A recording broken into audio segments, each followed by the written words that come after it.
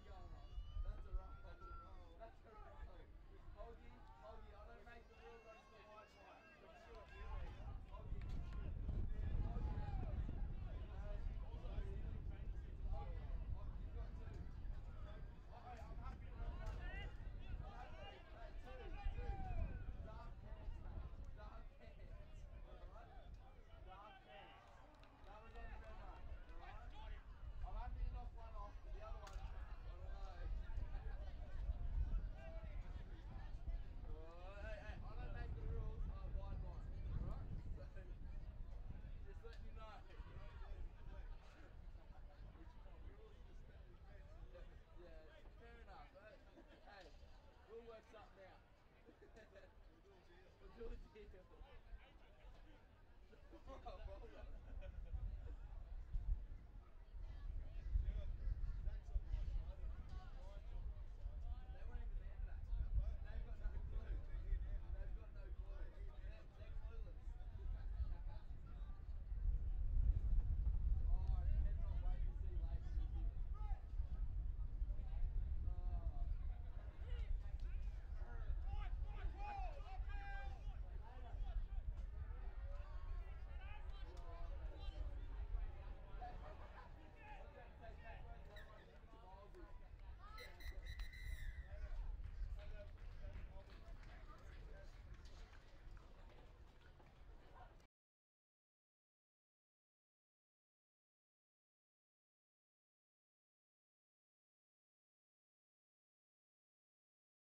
Um, we're here with Gatton uh, Div 2 coach, James, Stumpy Schroeder. James. Mate, um, thank you very much for coming down to the, um, coming out to the coast and uh, giving a trial against us. Some strong boys, big side. I tell you what, some uh, boys there that I definitely think that they're older than 18. Uh, mate, how was your how was your first and second half?